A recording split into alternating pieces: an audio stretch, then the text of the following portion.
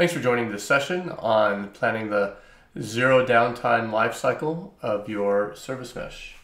My name is Christian Posta, and I am the Global Field CTO here at Solo.io. I've spent a lot of my career helping organizations build scalable distributed systems, and since 2017, specifically working on service mesh technology, helping organizations navigate some of the complexities of choosing a service mesh deploying it, operating it in day two, and everything in between. And uh, I am writing the Istio in Action book for with Man, uh, for Manning, and that should be out pretty soon. I think we're getting some of the last updates to the to the publisher right now. But like I said, I, I work at Solo, and uh, I came over to Solo almost three years ago now to work on this application networking infrastructure based on Envoy proxy. And you know, you'll, you'll see a lot of the service meshes are based on this, but uh, you know, there's a bigger story here around connecting things, especially in an enterprise environment, across different lines of business, across uh, different zones and infrastructure, from VMs to containers to uh, you know on-premises and public cloud and everything in between. And so that's what we focus on at Solo. Um, we have uh, a lot of expertise in this area in Envoy, in Istio, and uh, we built our, our products to, um, to scale and to uh, work very nicely in, enterprises. You can see here we have, uh, we have a lot of expertise. This is just uh, some of the folks that we have working here at Solo.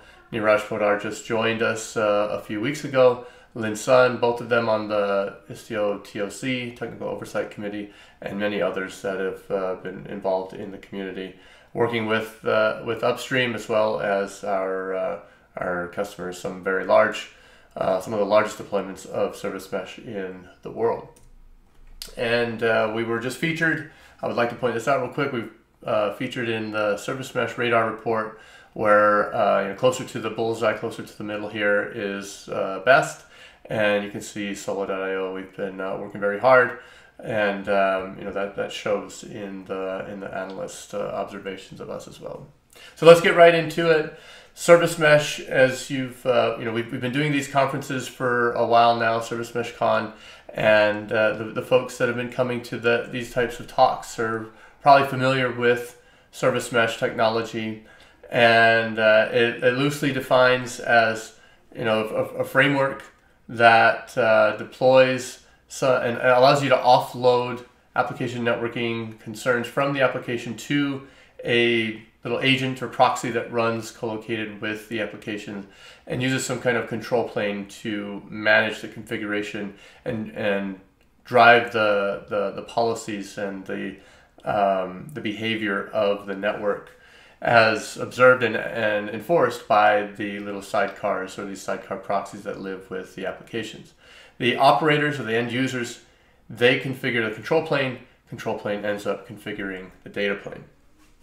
Now, the service mesh is a very critical piece of application networking infrastructure when it's in place. As you can see, these proxies live on the data path with the application talking to the network, the re requests are going through these L7, these layer 7 proxies. And since that's the case, requests are flowing through these proxies. Configuration, lifecycle upgrades, these types of things are uh, in incredibly important events and need to be planned for and uh, shouldn't be taken lightly. Because if you start to take down the request path between your various services, you start to see outages, and uh, that, that is not something we want, right? So before we get into planning for the, you know, how, how how you go about managing the life cycle of a service mesh, which is a very critical component in your in your architecture, we should start by understanding some of the areas where the service mesh can fail and things to watch out for. So the first thing that we want to talk about is the request path and the configuration path. Right, so when applications are communicating with each other, the traffic is traversing these data plane proxies. The proxies are doing things like routing control, like security, transport security, maybe things like authorizations, whether traffic should be allowed or not, and uh, you know collecting telemetry and so on. But as I mentioned earlier, that these proxies are driven by configuration from the control plane. And so one of the first failure areas that we'll take a look at is what happens when the proxies can no longer get configuration updates from the control plane. And in an upgrade, this is a very real scenario. So we got to explore this, uh, this failure uh, domain here. Um, now, ideally, this doesn't affect the request path. You just end up with stale configuration. And you don't see new configuration or updates to the system that have happened since the communication went down.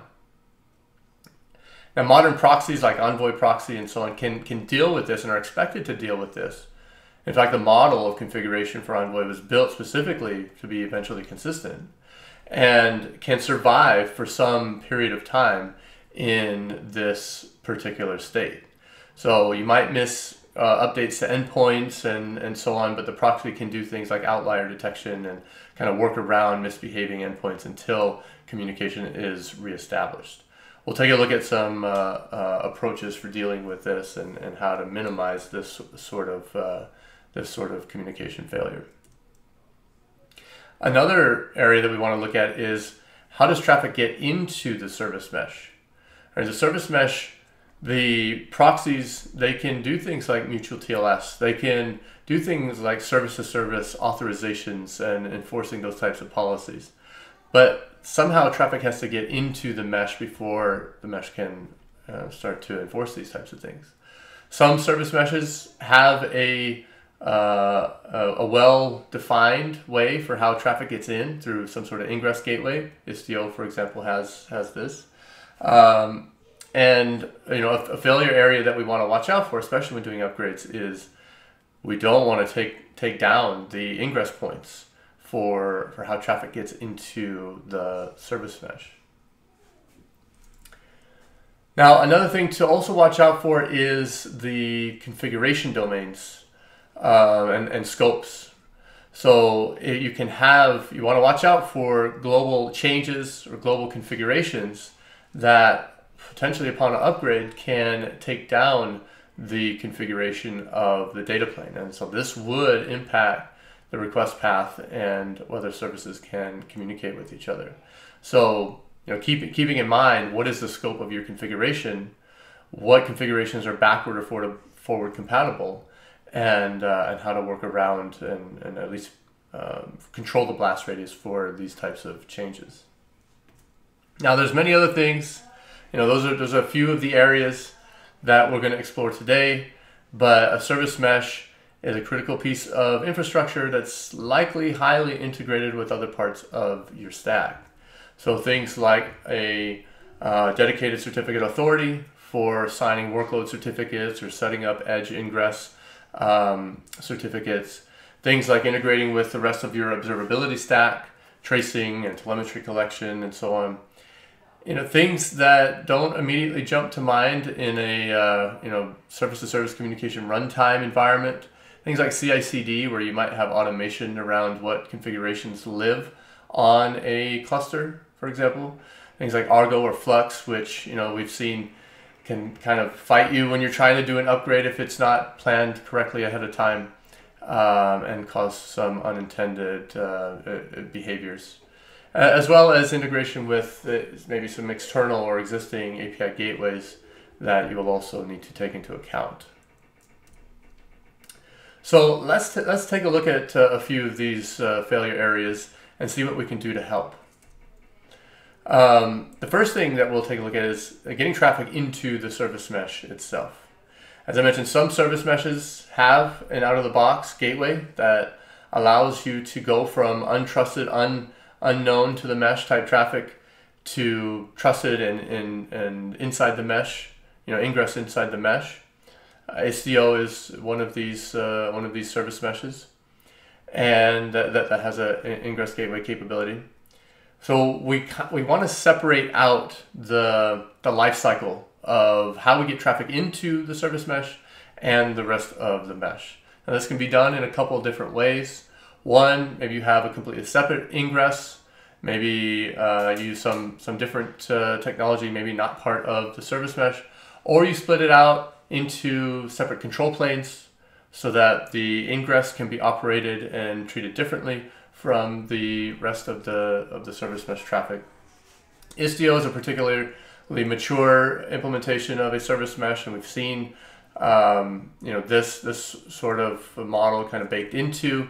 But instead of uh, you know you have a few different options, but you can you can do this through the operator and have different life cycles through the operator by setting up, let's say, uh, configuration just for the ingress and configuration just for the control plane. Have those separated out uh, come completely so that they can be um, updated, upgraded, and so on independently. Here's an example of how you might do that using the Istio configurations. On the left-hand side, we see configuration for the control plane. Note the bolded areas here. Um, you know, we're, we're just installing the, con the control plane piece by itself, no other pieces. And on, on the left side, on the right-hand side, we're installing just the uh, ingress gateway uh, component, nothing else. And so we're able to run these in conjunction and have separate life cycles at the, at the operator level.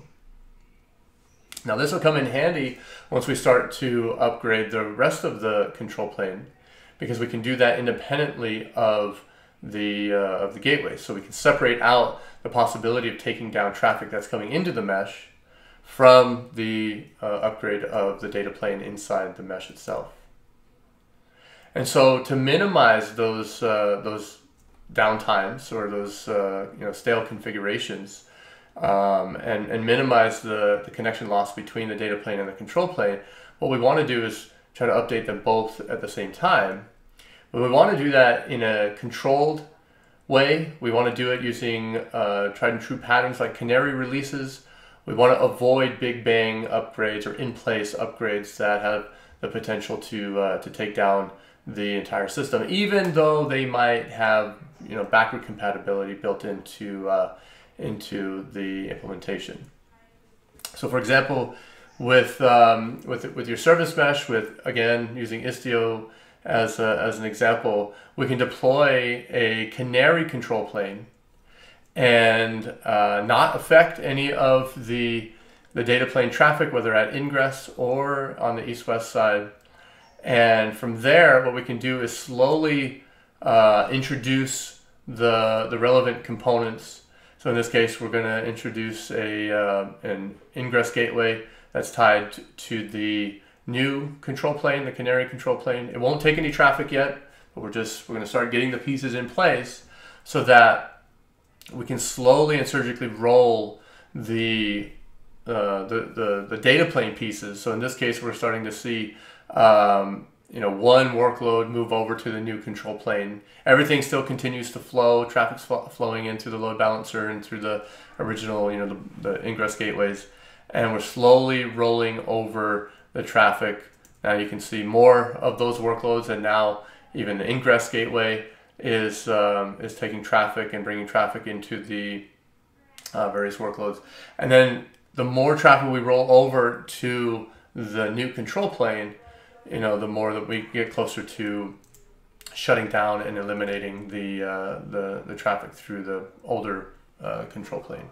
And if at any point in this process we see we see an issue, we can roll back and uh, go back to the uh, the old control plane. So this this provides a lot more safety and um, tries to work around and, and eliminate some of those areas for potential downtime by, uh, by running things concurrently and slowly and methodically in a controlled way rolling the traffic into the, the new version um, without doing a big bang or in-place uh, upgrade. The last thing that we'll talk about is limiting your blast radius when doing configuration, you know, well, taking into account configuration in a uh, in an upgrade scenario. So, for example, um, scoping configuration to specific applications or in Kubernetes to specific namespaces is highly desirable. So that's that's kind of step one. Try to avoid large scale global configuration. In Istio, that means you know putting configuration into the Istio system namespace, which is an operator, or rather, you know, a, a platform team user uh, restricted namespace. We don't want everybody dumping their configs into here. Uh, kind of scope them down to their specific namespaces uh, where applications live, where you, know you might have tenancy and ownership rules about that. Um, you can even use things in Istio specifically to scope it down. So when you deploy uh, configurations into Istio, the Istio control plane is watching all of those configurations across all the namespaces and trying to configure you know the mesh um, globally. But what you can do in, in Istio, for example, is use the export to uh, field in the various uh, configuration objects like virtual service or destination rule. And so export to controls where those configurations get applied. So even if you deploy it in one particular namespace, you can say only export the config to this namespace, not to everything else. Um, if you left out the export to, then it would apply to all the namespaces, even if you scope it to a particular namespace here. So you have much more fine-grained control over how the configuration is visible outside of a particular namespace. Now this export to is a, is a list, so you can be very specific about what namespaces should observe this particular con configuration. Um, but you know, no, narrowing those down and limiting those is uh, highly desirable. And keeping in mind where configuration could conflict with an upgrade. Like uh, in, in Istio, there's a break glass feature that allows you to override the capabilities of the underlying data plane, in this case, uh, Envoy proxy, with a with a resource called Envoy filter. Right, so Envoy filter also has an export to field, which you can configure to scope this uh, these configurations, these overrides to a specific namespace. But an even uh, more useful um, configuration here is focusing or specifying exactly what version of Istio that this global override should be applied to. Um, and, and, and making sure that this does not get applied. So if we were to upgrade to a new version, that it would only apply to the older, older version anyway. So, um, you know, these are these are some of the the failure areas and lifecycle um, things that you should keep in mind when managing operating a service mesh. At Solo, we are working with some of the largest uh, largest service mesh deployments in the world. If you're interested in um, seeing what we more of uh, what we're what we're doing and working with our customers, then uh, or, or building working on service mesh and building the products themselves, please reach out. We are hiring across uh, across the world. As you can see, our presence is global, and we're hiring for um, people working in the field with the customers, people writing the code in the back end, um, everything sales, uh, customer success, everything in, in between. So uh, I just want to thank you for joining this session definitely check out uh, some of the YouTube channels that we have. Uh, so we, sh we share a lot about what we're doing with our customers. You can learn a lot about about Istio, Service Mesh in general, Envoy Proxy, and uh, some of the innovative stuff that we are working on at uh, Solo. So thank you so much. Uh, don't hesitate to reach out and uh, look forward to the uh, the rest of the track here at Service Mesh Con. Thanks.